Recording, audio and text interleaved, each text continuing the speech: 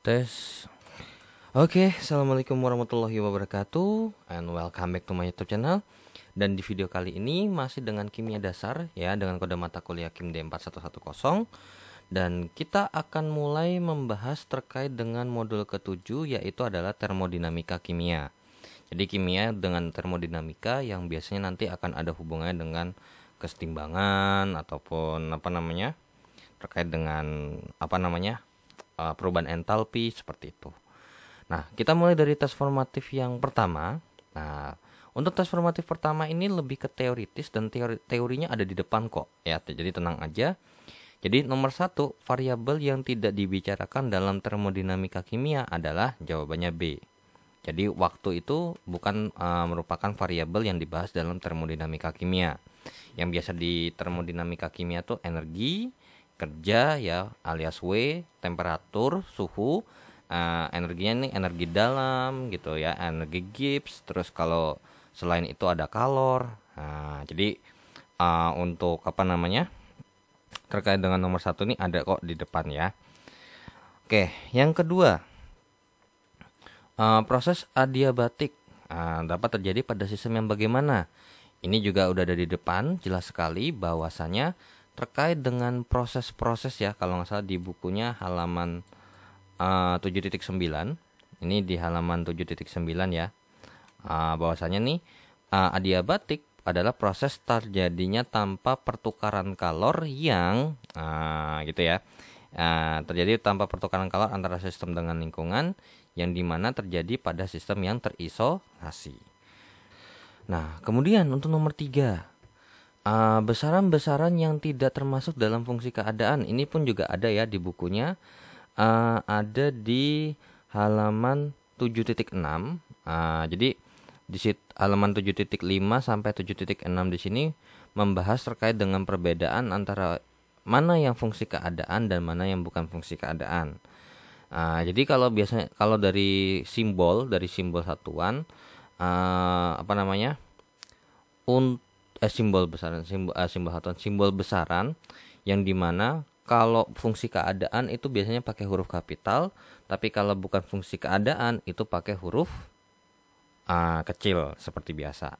Jadi kalau di sini ini fungsi keadaan ya ini fungsi keadaan ini fungsi keadaan ini bukan fungsi keadaan ini fungsi keadaan. Maka nomor tiga jawabannya adalah yang C ya. Oke, so kita lanjut ke soal berikutnya. Nah, kita hapus untuk 1 sampai nomor 3-nya dan kita akan lanjut ke soal nomor 4 sampai 6. Dan untuk nomor 4 sebenarnya ini uh, tetapan SI uh, tetapan satuan internasional Joule merupakan satuan dari besaran apa? Sebenarnya ini semua satuan ini jawabannya bisa ya. Karena apa? Energi ini uh, salah satu bentuk apa namanya energi itu adalah salah satu bentuknya kalau energi panas atau kalor. Energi listrik itu semua satunya joule. Kalor ya salah satu bentuk energi. Kerja adalah uh, kerja itu definisinya adalah butuh energi. Ya, so di sini mereka saling berhubungan. Uh, kerja butuh energi, kalor salah satu bentuk energi. Uh, jadi karena berhubung energi satuannya juga joule, maka kalor dan kerja juga satuannya joule. Maka nomor 4 jawabannya adalah yang domba ya. Nah, oke. Okay. So, untuk nomor selanjutnya nomor 5 yang bukan merupakan sifat dari fungsi keadaan ini juga ada di bukunya. Jadi saya lihat sambil uh, untuk mengecek halaman berapa ya. Uh, jadi untuk mengecek ini yang merupakan fungsi keadaan atau bukan itu ada di halaman yang tadi sama dengan di nomor berapa ya? Nomor 3 ya. 7.5 sampai 7.6. Kalian bisa baca sendiri tuh uh, ciri-ciri dari fungsi keadaan tuh bagaimana, kalau yang bukan tuh bagaimana. Oke, coba. Kalau yang A, perubahan tidak tergantung pada mekanisme atau jalannya proses. Ya. Fungsi keadaan itu hanya bergantung pada keadaan awal dan keadaan akhir, bukan in prosesnya. Nah, kalau misalnya kayak kalor dan usaha, kenapa dia nggak termasuk fungsi keadaan? Karena ketika bahas kerja, kerja itu ada prosesnya tuh. Uh, apa namanya? Uh, ada di prosesnya. Kayak misalnya nih, prosesnya mengeluarkan kalor, apa mengerjakan usaha, atau melakukan usaha atau menerima kalor. Nah, itu adalah proses. Tapi kalau misalnya kayak volume, apakah di bagian tengahnya itu kita bahas proses? Nah, di tengahnya walaupun emang ada proses perubahan, tapi uh, itu bukan masalah di volumenya, itu akibat sesuatu yang lain.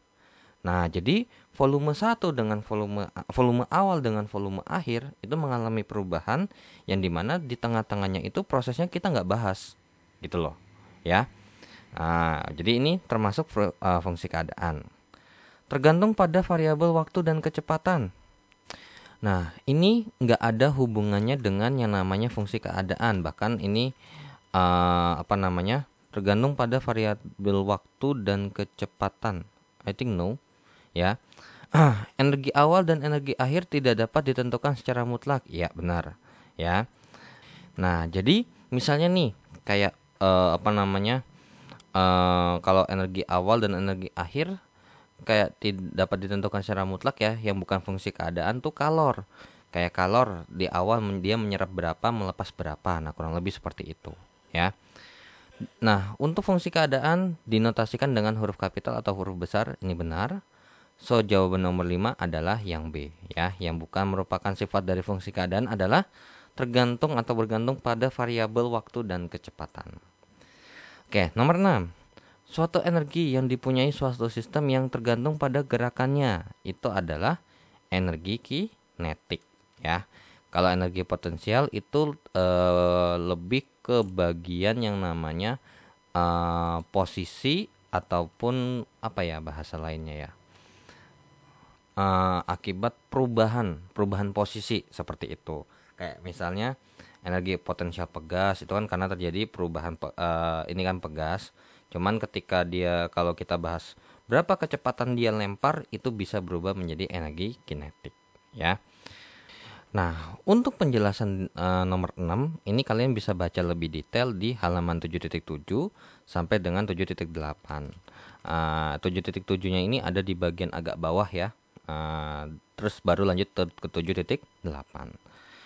Oke, so kita lanjut ke soal berikutnya. Nah, kita hapus untuk nomor 4, 5, dan 6-nya dan kita lanjut ke nomor 7 dan 8. Uh, suatu proses perubahan yang berjalan lambat sekali seolah-olah setiap saat terjadi suatu kesetimbangan merupakan ciri proses yang bagaimana. Nah, ini ada hubungannya dengan proses-proses dari termodinamika ya.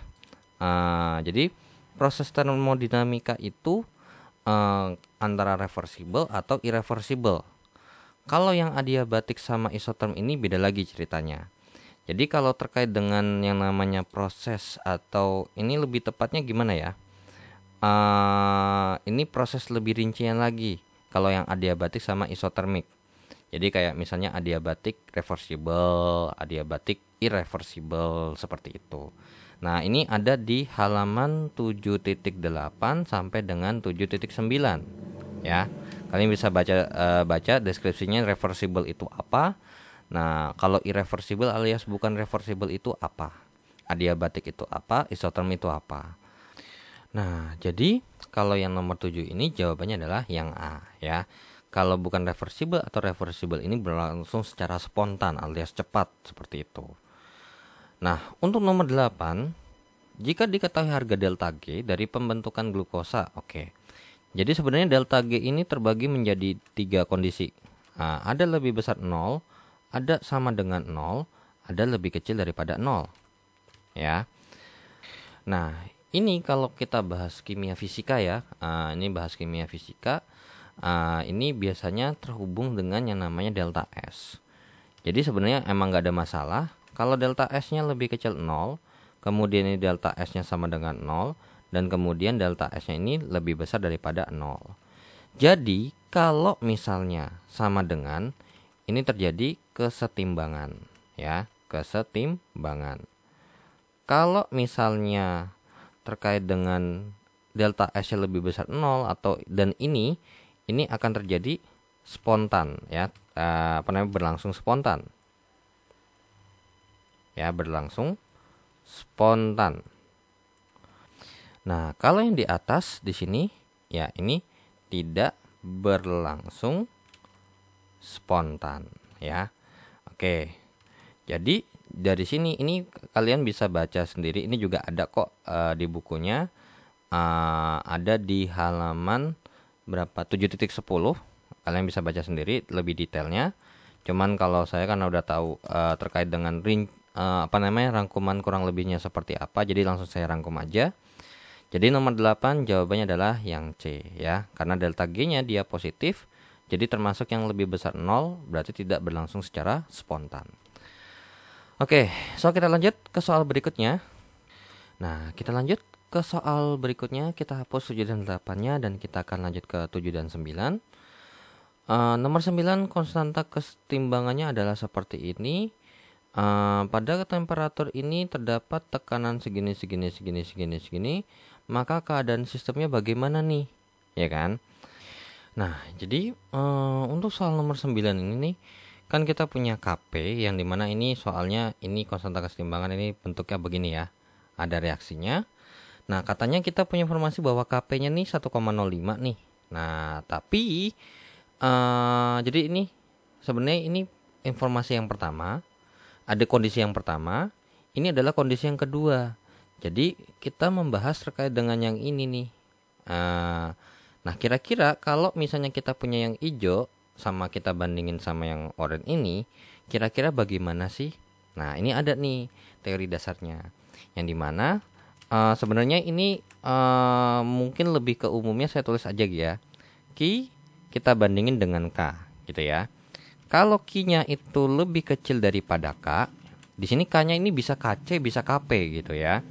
Nah, kalau Q-nya sama dengan K dan Q-nya lebih besar daripada K, maka ini terjadi pergeseran kesetimbangan.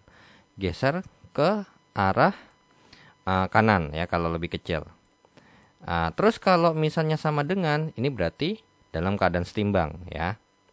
Nah, terus kalau yang lebih besar itu geser ke arah kiri. Nah, oke, jadi namanya udah geser ke arah kiri berarti ini bukan dalam keadaan setimbang intinya begitu. Nah kita cek nomor 9 nah kita punya KP yang uh, ini. Nah yang kita mau cek adalah key-nya. Nah key-nya sama dengan sebenarnya rumusnya sama ya terkait dengan apa namanya mau dia ngitung key atau mau ngitung k itu sama sebenarnya cuman beda simbol aja. Oke untuk membedakan uh, kayak ini adalah namanya adalah quotient quotient reaksi. Nah, seperti itu. Jadi ini PCl5 dalam bentuk gas.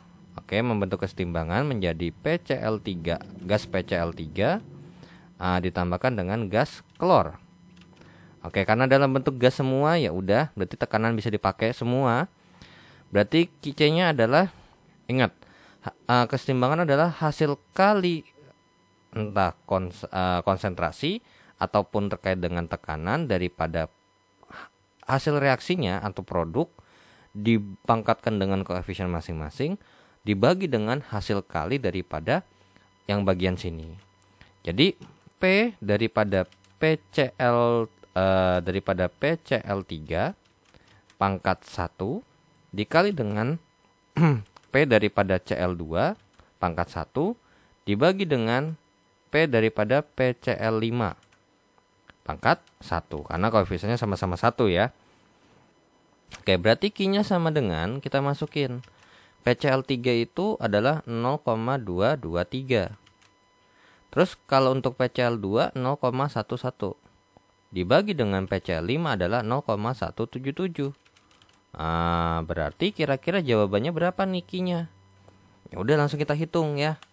Uh, 0,223 kali 0,111 dibagi dengan 0,177 maka jawabannya adalah 0,1398 ya. Ya sudah, kita dapat simpulkan gimana nih? Ya, karena nah, karena apa? Q lebih kecil daripada K. Nah, kenapa? Karena Q-nya 0,1398 KP-nya itu atau K-nya itu 1 koma. Berarti karena Q lebih kecil daripada K, maka apa? Ya, maka uh, reaksi uh, geser ke arah kiri. atau berjalan ke arah kiri ya. Eh, kok arah kiri sih? Ke arah kanan ya. Nah, karena kan lebih kecil ya. Ke arah kanan seperti itu. Ya, so jawaban daripada soal nomor 9 adalah yang B ya. Oke, so kita lanjut ke soal nomor 10. Nah, soal nomor 10 ini membentuk keseimbangan ya. Uh, kita punya konstanta keseimbangan seperti ini. Jadi ini adalah K daripada K-nya adalah 0,629. Kemudian harga konstanta keseimbangan untuk reaksi yang dibalik. Nah, kira-kira bagaimana? Sebenarnya ini enggak uh, ada ya teori-teorinya. Kalau kalian mau langsung pakai versi cepatnya itu ada kok. Uh, soalnya apa namanya? Uh, namanya uh, kalau reaksinya reaksinya di otak-atik gitu ya. Nanti akan ada tuh pendekatan-pendekatan. Uh, Nah, tapi sebenarnya bisa kita akalin ya tanpa uh, menghafal atau tanpa uh, mengingat rumus yang di mana oh oke okay. berarti untuk yang pertama kondisi yang pertama dari CO gas CO tambah dengan uap air membentuk kesetimbangan menjadi yang namanya CO2 uh, eh, gas CO2 ditambahkan dengan gas hidrogen. Nah untuk menghitung Kp di sini ya ini KP1 deh saya tulis ya KP1 berarti apa? Ya uh, apa namanya? P daripada CO2 dikalikan dengan P-nya H2 per P-nya CO dikalikan dengan P-nya H2O. Nah, kan gitu. Kemudian untuk reaksi yang kedua dibalik ternyata CO2 gas CO2 ditambahkan dengan gas hidrogen itu ada H2 itu ada angka 2 nya ya nggak cuma H doang membentuk kesetimbangan menjadi CO nah, ini CO ya bukan CO2 nah, CO dalam wujud gas ditambahkan dengan H2O dalam wujud gas berarti perhitungan Kp yang kedua ini adalah P nya CO dikalikan dengan PH2O dibagi dengan P-nya CO2 dikalikan dengan P-nya H2. Nah, kalau diperhatikan ya, kalau diperhatikan ada nggak sih hubungan antara yang di bagian sini nih? Nah, ya yang di bagian sini uh, atau yang ini deh, ya ini dengan yang ini. Ada nggak kira-kira hubungannya? Ya, ada hubungannya. Yaitu apa? Ternyata KP2 itu adalah versi kebalikannya daripada KP1. Sehingga ini dapat disimpulkan bahwasanya KP2 itu sama dengan 1 per KP1. Nah, ini kan atas jadi bawah. Nah, ini bawah jadi atas. Ya sudah, berarti KP2 itu sama dengan 1 per 0,629. Berarti KP2-nya berapa? Jawabannya adalah 1,59. Maka jawaban nomor 10 adalah yang A seperti itu ya. Nah, jadi uh, untuk terkait dengan uh, apa namanya? Kalau kita bahas konstanta yang reaksinya di otak-atik, sebenarnya banyak pendekatannya. Jadi uh, kalau misalnya kalian mau pakai cara seperti itu diperbolehkan, nggak ada masalah. Nah, atau kalau misalnya kalian mau pakai rumus, ya mungkin nomor 9 saya hapus terlebih dahulu ya. Uh, Oke. Okay. Jadi untuk uh, ini caranya begini nih. Nah, kalian perhatikan ada beberapa uh, skenario yang bisa kita lakukan pada persamaan reaksi yang di mana kalau reaksi acuannya A menjadi B, ya ini gak ada masalah dong, kinya adalah B per A, gitu kan. Nah, berarti kalau reaksi dibalik jadinya A per B. Nah, ternyata kalau namanya A per B itu kan berarti satu per kan. Nah, ya udah. Nah, jadi nomor 10 itu kita pakai kondisi yang seperti ini. Jadi uh, kalau yang aksen itu adalah yang sudah dirubah. Jadi ke, kalau ini kalau kita pakai itu kan KP2. Jadi K aksen itu adalah kalau kita pakai adalah KP2. Nah, terus kalau misalnya untuk apa namanya kalau untuk K yang biasa di sini kita pakainya adalah KP1 seperti itu. Nah, jadi kalau misalnya reaksinya dibalik jadinya adalah satu per Kemudian kalau reaksinya dua langkah seperti ini dan ternyata saling berhubungan, maka ternyata untuk nilai K-nya itu dikali nah, dari dua e, konstanta yang ada.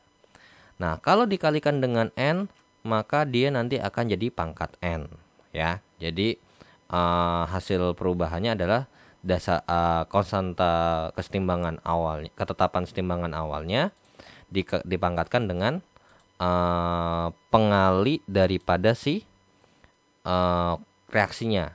Tuh. Nah kalau misalnya ternyata seperti ini ya nggak ada ngaruh kalau yang terakhir nih.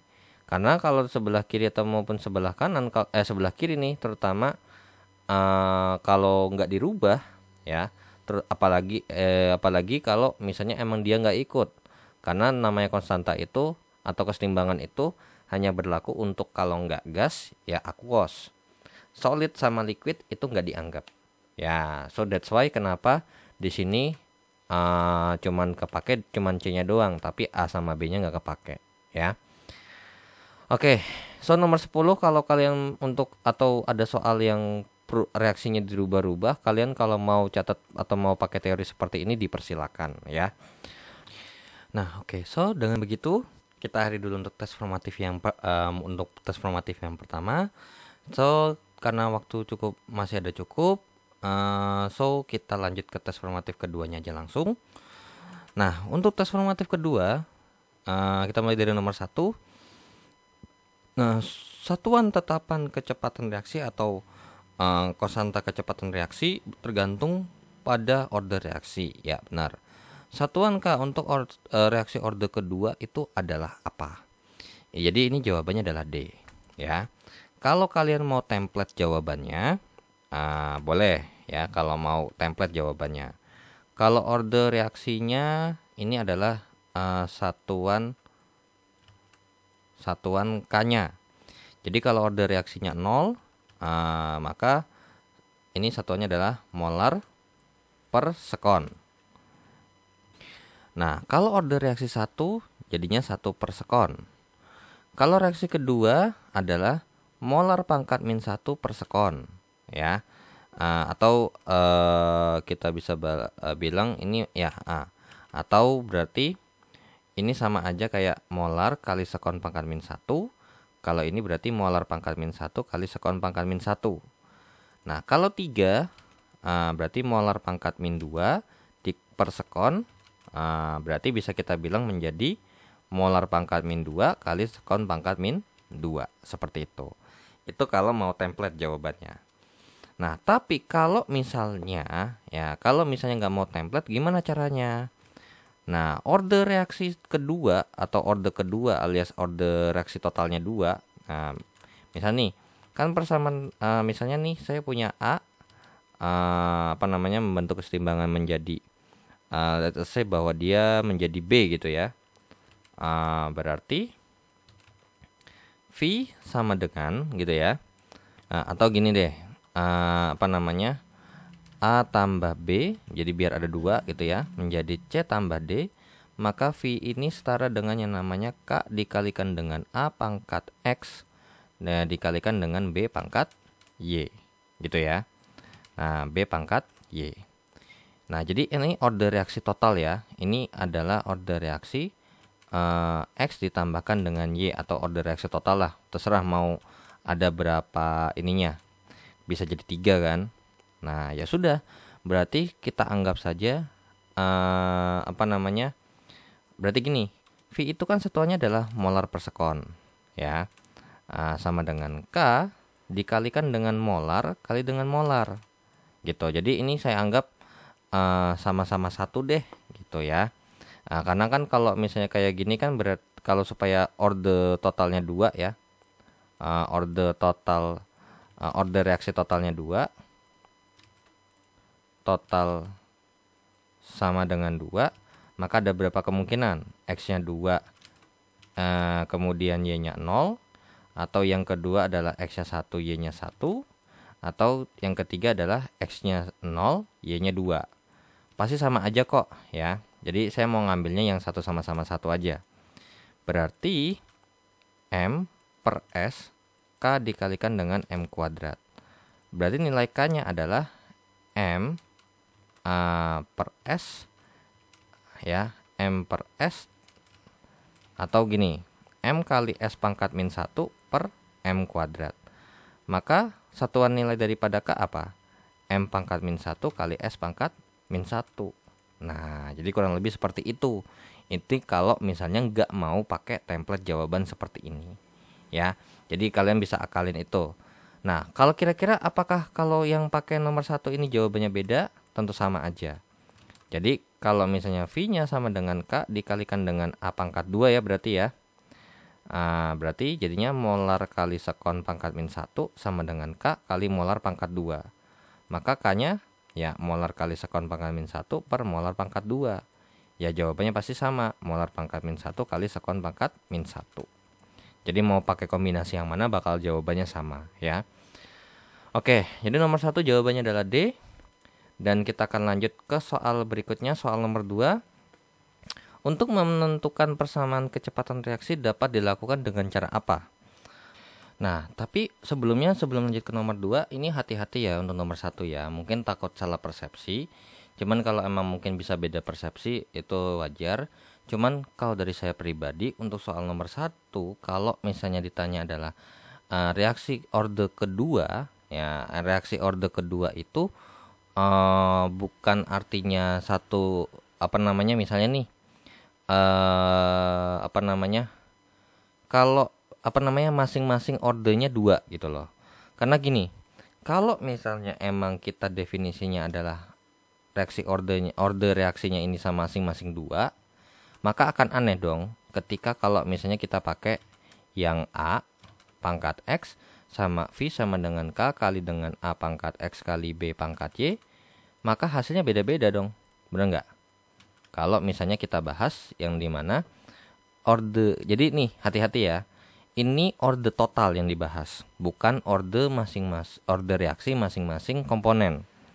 Nah, kalau misalnya kita bahas, eh, kalau kita detailnya adalah kita bahasnya satu-satu per komponen, maka berarti tergantung dong banyak komponennya berapa. Nah, kalau misalnya kasusnya kayak gini, yang kalau jadinya berarti M pangkat 2 kan. Nah, berarti molar per sekon sama dengan K kali dengan molar pangkat 2, maka K-nya apa? Molar pangkat min 1 kali sekon pangkat min 1. Tapi kalau kayak gini, nah, K kali dengan M pangkat 2 kali M pangkat 2. Berarti nilai K-nya ini setara dengan yang namanya M kali sekon pangkat min 1 per M pangkat 4. Jadinya M pangkat min 3 kali sekon pangkat min 1. Kalau tiga komponen beda lagi. Jadi so hati-hati untuk pengerjaan soal nomor satu ini ini adalah order reaksi total bukan order reaksi dari masing-masing komponen. Oke? Okay?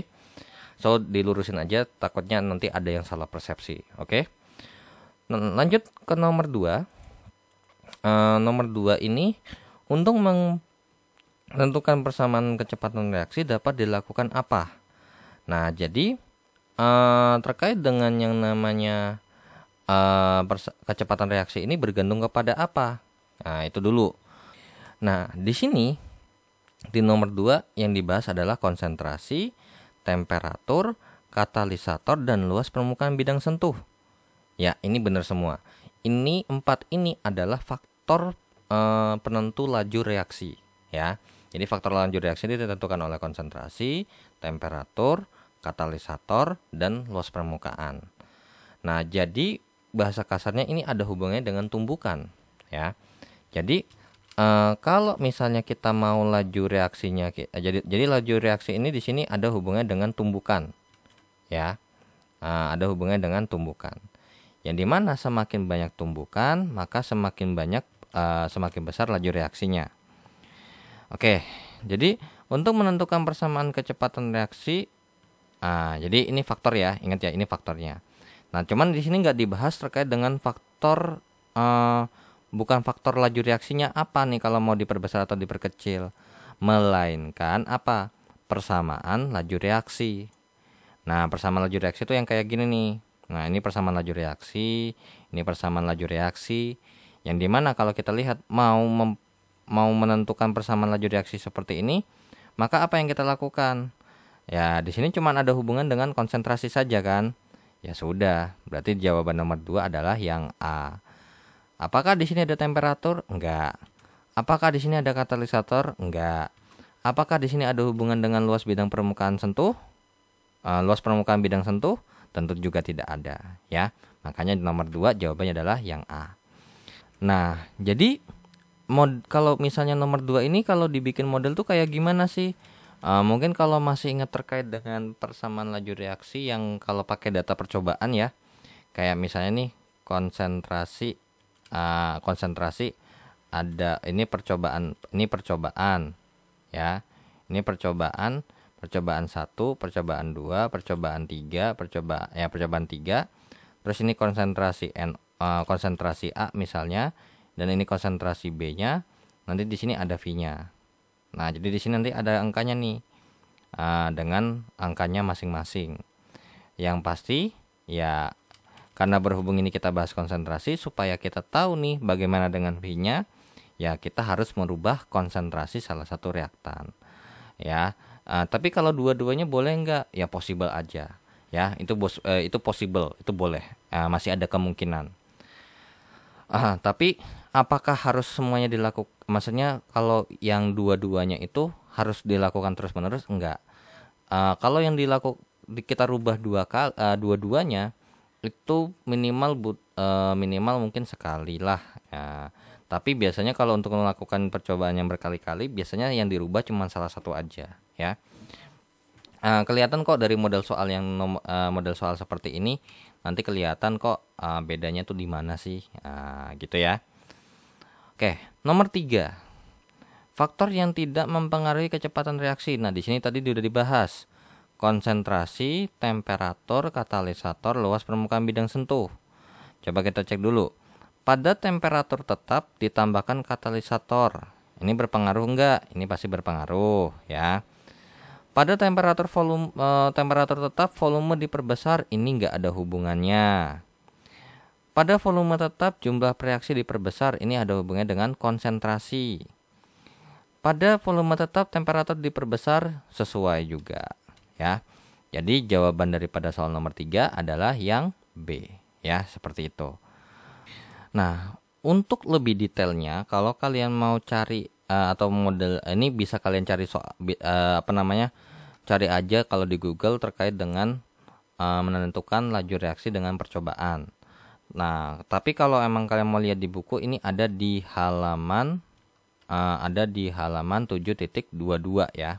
Nah, tadi tadi sebaik saya saya barusan cek ternyata ada kurang lebih tabel yang seperti itu ya. Jadi kalian bisa lihat di tabel 7.1 di halaman 7.22 ya. Oke, so kita lanjut ke soal berikutnya. Nah, so kita hapus untuk 1 sampai nomor 3-nya dan kita akan lanjut ke soal nomor 4 dan 5. Nomor 4, reaksi hidrolisis etil asetat seperti ini berorder 0 terhadap air. Oke, jadi order reaksi airnya 0 itu ya maksudnya. Uh, jadi uh, so kalau misalnya kita bikin bersama reaksi terlebih dahulu untuk nomor 4 V sama dengan K dikalikan dengan konsentrasi CH3 COOC2H5 dipangkatkan dengan X dikali dengan H2 konsentrasi H2O pangkat Y dan di sini udah dikasih tahu bahwa nilai Y-nya ini sama dengan 0. Nah, V sama dengan K uh, bla bla bla bla bla pangkat X dikalikan dengan bla bla bla bla pangkat 0 maka V-nya jadinya apa? Ya, sorry-sorry bentar. Ini mungkin saya kopas aja kali ya. Nah, oke kurang lebih seperti ini. Nah, ini pangkat 0. So, apa yang terjadi? Ya, yang terjadi cuman jawabannya cuman tinggal ini. Kenapa? Karena kan ini jawabannya kan satu, ya kan? Nah, ini kan jawabannya satu nih. H2O pangkat 0 ini kan jawabannya dia sama dengan satu. Ya, so oke. Okay. Jadi uh, artinya kecepatan awal reaksi 0 tentu saja salah, nggak ada hubungannya. Uh, karena kecepatan reaksinya ini masih ada dipengaruhi oleh si etil asetatnya. Kecepatan reaksi berbanding lurus dengan konsentrasi air salah, berbanding lurus dengan konsentrasi etil asetat. Konsentrasi air tidak mempengaruhi kecepatan reaksi betul karena di sini tiba-tiba uh, jadinya satu Reaksi akan berlangsung terus sampai konsentrasi air sama dengan nol ini tidak karena nggak ada hubungannya. Konsentrasi airnya tidak ada pengaruh sama sekali. Mau dia satu kayak mau dia 100 kayak nggak ada pengaruhnya karena dipangkatkan nol. Maka nomor 4 jawabannya adalah yang C. Oke. Nah, kita lanjut ke soal nomor 5 terkait dengan uh, mana sih yang bereaksi paling cepat? Oke. Nah, untuk nomor 5 uh, apa namanya? Kita tahu bahwasanya kan faktor laju reaksi ya, faktor laju uh, reaksi ini ada uh, empat ya. Yang pertama adalah terkait dengan konsentrasi. Nah, kalau namanya konsentrasi makin banyak kan berarti isinya makin banyak kan ya. Uh, so berarti dengan konsen, uh, konsentrasinya makin banyak, berarti kecepatan reaksinya makin bertambah ya. Uh, jadi ini uh, saya tulis ada hubungannya dengan uh, jumlah partikel ya. Nah, semakin banyak jumlah partikel yang bertumbukan, maka semakin banyak juga semakin besar laju reaksinya. Oke, yang kedua terkait dengan yang namanya temperatur alias suhu. Nah, temperatur itu ada hubungan sama apa sih? Nah, temperatur itu ada hubungan dengan besarnya energi kinetik. Nah, berarti kalau energi kinetiknya semakin besar, maka uh, apa? kecepatan laju reaksinya juga atau laju reaksinya juga semakin besar seperti itu uh, karena apa? Semakin banyak tumbukannya gitu. Kemudian uh, oke okay, ini temperatur. Kemudian ada hubungannya dengan yang namanya uh, luas permukaan bidang sentuh ya luas permukaan. Nah luas permukaan nah ini ada hubungannya dengan uh, area tumbukan. Berarti semakin besar luasnya, semakin bes, uh, semakin besar luasnya berarti semakin besar area tumbukannya, berarti semakin sering terjadi tumbukan, semakin besar kecepatan reaksinya atau laju reaksinya, seperti itu. Nah, keempat adalah katalisator. Nah, katalisator ini mah emang dasarnya buk, uh, di sini kalau katalisator kerjanya bukan hubungan sama laju reaksi, melainkan dia menurunkan uh, energi aktivasi. Jadi ibarat kata nih, uh, kalau misalnya kita melakukan suatu pekerjaan yang butuh energinya 10 dengan katalisator jadinya butuh cuma 8. Jadi nggak terlalu banyak buang-buang energi yang di mana berarti kalau kita punya 10 dan ternyata cuma butuh 8 berarti reaksinya bakal lebih cepat terjadi dong. Nah, seperti itu ya. Nah, oke. Okay. Jadi uh, kurang lebih pengaruhnya seperti ini tapi mungkin kita akan detailin. Nah jadi kalau misalnya konsentrasinya naik oke okay, M nya ya. M itu uh, hubungan sama V. Terus kalau misalnya ini T dengan V terus kalau yang ini A dengan V berarti nah ini ternyata sama semua nih ya jawabannya. Jadi dari mereka berempat ketika di sebelah kirinya dia naik, maka sebelah kanan naik dan ketika di sebelah kirinya dia turun, maka sebelah kanannya juga ikut turun. Nah, ya udah, sekarang kita cek nih jawabannya nih. Nah, kita cek dulu konsentrasinya atau mungkin ada nggak sih yang sama ya. Pas kita cek ternyata uh, apa namanya? Uh, paket daripada si atau si soal ini ininya sama semua nih ya. Ininya sama semua. Ah, berarti otomatis konsentrasi sudah tidak berpengaruh. Nah, karena apa? Karena konsentrasinya sama. So faktor konsentrasi kita bisa abaikan. Nah yang berbeda apa? Yang berbeda yang pertama untuk A sama B sama C sama D itu ada di suhu dengan penam dan penambahan air.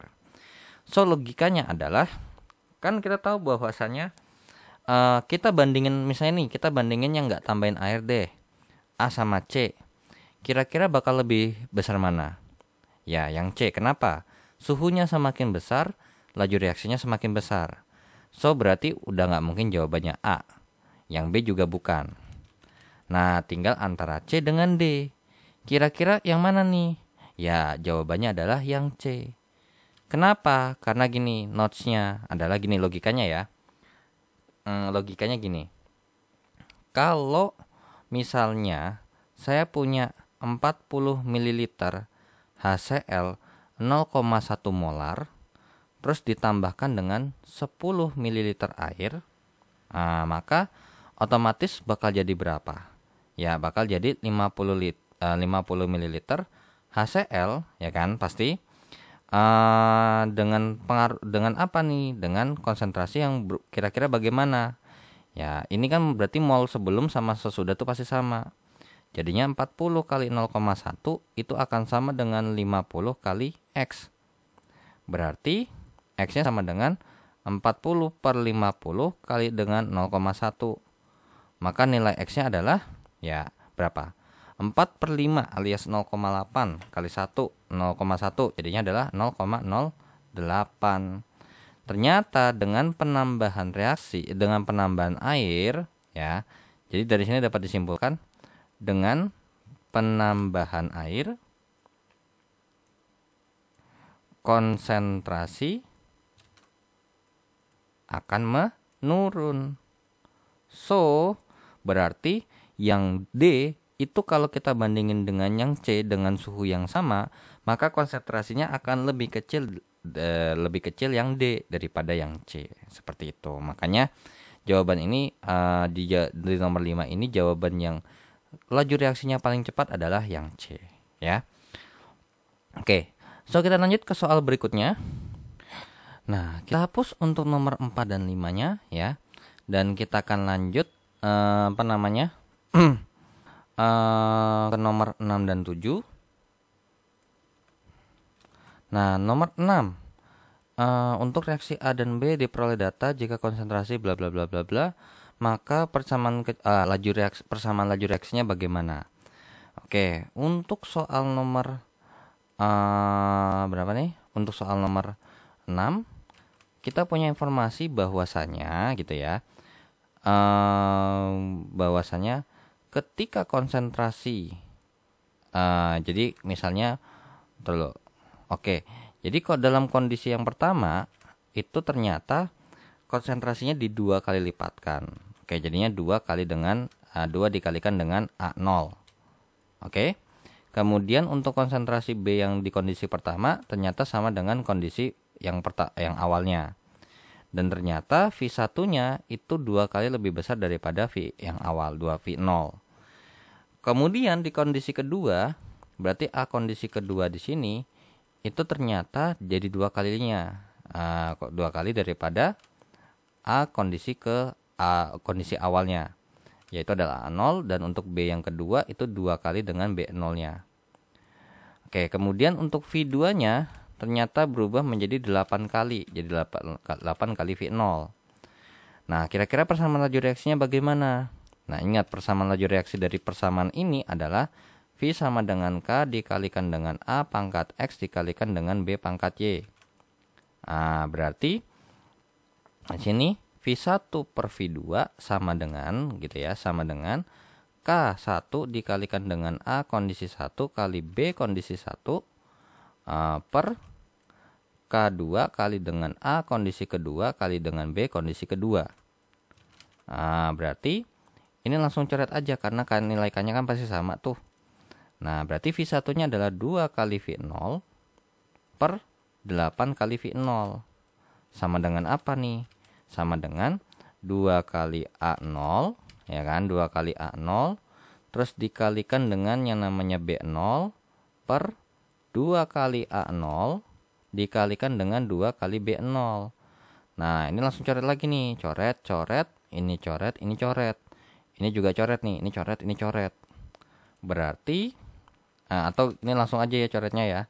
Ini satu ini empat. Ya kan? Nah berarti oh sorry sorry sorry. My bad my bad. Uh, sorry I forget. Nah ini ingat pangkat x sama y nya belum lupa ditinggalin kan? Nah jadinya berarti uh, ini berarti dua kali a0 jadi mungkin ini saya tulisnya adalah A0 aja ya biar nggak kepanjangan atau biar nggak ribet. Eh, ini A0 ini B0 ini A0 ini B0 nah berarti 2A0 pangkat X dikalikan dengan yang namanya B0 pangkat Y per apa 2 kali A0 pangkat X dikalikan dengan B0 pang 2 kali dengan B0 pangkat Y. Ya, so ini coret, ini coret karena pasti sama hasilnya. Ya udah, berarti bagaimana nih? 1 per 4 sama dengan Nah, ini jadinya berarti B0 per 2 kali B0 dipangkatkan dengan Y. Berarti, ya ini coret nih, cepret-cepret. Berarti 1 per 4 sama dengan 1 per 2 pangkat Y. Berarti Y-nya jawabannya adalah 2. Ya. Berarti jawaban daripada so, uh, untuk yang Y-nya ini 2 nih. Nah, bagaimana dengan nilai X-nya? Nah, loh. Nah, ini bisa diakalin. Dengan cara apa? V1 sama dengan Oke, shit. Ada ada yang ketinggalan nih. Nah, ini bisa nih. Nah, gimana? V0 per V1 ya, berarti K0 kali dengan A kondisi 0 pangkat X kali B kondisi ke 0 pangkat Y per K0 A kondisi ke 1 pangkat X ini K1 ya. Nah, kali dengan B kondisi ke 1 pangkat Y. Berarti karena udah tahu nih, uh, oke okay, mungkin kita masukin dulu aja. V0 per 2 kali V0 sama dengan, kalau ini mah pasti habis ya K-nya. Nah tinggal kita masukin A0 pangkat X dikalikan dengan B0 pangkat Y per apa 2 kali A0 pangkat X dikalikan dengan B0 pangkat Y. Maka apa? bisa dipastikan ini habis, ini habis, ini habis, ini habis. Kan gitu, ya. So, berarti jadinya adalah 1 per 2 sama dengan A0 per 2A0 pangkat X. Berarti 1 per 2 sama dengan, ya, 1 per 2 pangkat X. Berarti nilai X-nya sama dengan 1. Ya, so berarti kesimpulannya V-nya sama dengan apa? V sama dengan K dikalikan dengan A pangkat 1 dikalikan dengan B pangkat 2. Maka jawaban yang sesuai untuk nomor soal nomor 6 adalah yang B. Ya. Oke, so kita lanjut ke soal nomor 7 ya. Katalisator dapat memperbesar kecepatan reaksi karena katalisator menurunkan energi aktivasi ya. Jadi uh, kinerjanya beda ya. Kalau misalnya yang lain itu kan memperbesar uh, tumbukan atau memperbesar kesempatan untuk bertumbukan sehingga mempengaruhi yang namanya kecepatan laju reaksi. Tapi kalau katalisator dia memperbesar kecepatan reaksi atau memperbesar laju reaksi dengan menurunkan energi aktivasi. Oke, so kita lanjut ke soal berikutnya. Nah, kita hapus untuk soal nomor 6 dan 7-nya dan kita akan lanjut ke soal nomor 8, 9 dan 10. Nah, oke. Okay. So, ini bagaimana cara ngerjainnya untuk nomor 8? Katanya setiap kenaikan 20 derajat Celcius, kecepatan reaksi menjadi tiga kali tiga kali lipat. Uh, berat. Nah, terus kalau 20 derajat Celcius ternyata dalam 9 menit, kalau 8 derajat Celcius bakal jadi berapa menit nih? Nah, jadi ini sebenarnya ingat ya uh, bahwasanya V dengan T ini adalah sesuatu yang berbanding terbalik. Jadi V ini sama dengan seperti So, kalau misalnya di sini tiga kali, di sini bakal jadi sepertiga kali. Kalau di sini setengah kali, alias di sini berarti eh, misalnya di, di sini lima kali, berarti di sini jadi satu per lima kali. Nah, so di soal nomor ini nomor 8 ketika 20 derajat Celcius uh, jadi 9 menit. Oke. Nah, terus kan setiap 20 20 derajat Celcius naiknya nih, berarti 40 derajat Celcius 60 derajat Celcius ini 80 derajat Celcius. Dan ingat nih kita bahasnya uh, jadi dua part nih. Untuk di sini berarti kali dua ya kan? Terus di sini kali dua berarti di sini dikalikan dengan dua ya kan eh sorry dikali tiga ya uh, dikali tiga laju reaksinya uh, dikali tiga terus dikali dengan 3. So berarti untuk kecepatan reaksinya berarti dikali dengan sepertiga. Uh, jadi seper, dikali dengan sepertiga dikalikan dengan sepertiga. Berarti jadinya ini adalah 3 menit. Terus habis itu ini satu menit. Terus ini jadinya sepertiga menit. Ya, so jawaban daripada soal nomor 8 adalah yang A. ya. Nah, oke. Okay. So, uh, jadi nomor 8 jawabannya A. Kalau nomor 9 uh, di sini kita punya informasi bahwasanya 2A tambah B, oke. Okay. Kemudian uh, akan menjadi A2B dan mempunyai order pertama. Oke, okay, jadi berarti di sini V sama dengan K dikali dengan A pangkat 1 kali dengan B pangkat 1. Nah, terus kemudian uh, si ini punya informasi soal bahwasanya konsentrasi awal A sama B-nya sama-sama satu dan kemudian uh, ditanyakan kecepatan reaksi pada saat konsentrasi berkurang menjadi segini. Nah, dari situ sebenarnya udah ketahuan bahwasanya 2A tambah B menjadi uh, A2B berarti ada M R dan S. Nah, di sini mula-mulanya sama-sama 1, no, eh, 0,1. 0,1 molar, 0,1 molar, kan gitu. Ah, oke, okay, 0,1 molar, 0,1 molar di sini belum terbentuk, ya kan? Tapi emang di sini juga kita nggak peduli kan sebenarnya. Oke, tapi tetap kita akan isi secara totalnya. Nah, katanya 0,06 nih jadinya di akhir. Di sini 0,06 molar berarti bisa kita pastikan bahwasanya di sini bereaksinya sebesar 0,04 molar. Kalau di sini bereaksinya sebesar 0,02 molar. Dapat dari mana? Ingat, perbandingan koefisien sama dengan perbandingan ini ya. Perbandingan mol, perbandingan koefisien dan mol ini kan sebanding dengan konsentrasi. Makanya kita bisa pakai jadi di sini berarti sisanya adalah 0,08 molar. Kalau di sini kita nggak peduli, di sini juga kita nggak peduli. So, berarti V sama dengan K dikalikan dengan 0,06 di pangkat 1 kali 0,08 pangkat 1. Berarti V-nya berapa nih? Ya, ya udah. 8 kali 6 itu kan yang uh, apa namanya? Ini kan K kali 6 uh, eh, jawaban ini 0, 0048 atau V-nya sama dengan 0,0048K. Ya, so berarti jawaban nomor 9 adalah yang C. Nah, lanjut ke soal terakhir, soal nomor 10. Faktor yang tidak mempengaruhi kecepatan reaksi, katalisator, pengaruh, konsentrasi pengaruh, suhu pengaruh, warna molekul tidak berpengaruh, ya. Oke, so dengan begitu saya akhiri dulu untuk pembahasan KIMDAS atau KIMD 4110 untuk modul ke-7 dan saya ucapkan terima kasih bagi yang sudah menonton video ini. Dan jangan lupa untuk di like dan di share di subscribe channelnya jika bermanfaat. Dan thanks juga yang sudah donasi di saweria.co untuk link, uh, linknya bisa cek di, di kolom deskripsi. Dan uh, untuk scan barcode kirisnya. Untuk membantu perkembangan channel ini secara finansial dan jika ada kekeliruan ataupun pertanyaan langsung saja di chat di kolom komentar. Dan saya Jem pamit. Wassalamualaikum warahmatullahi wabarakatuh. See you in the next video. Bye-bye.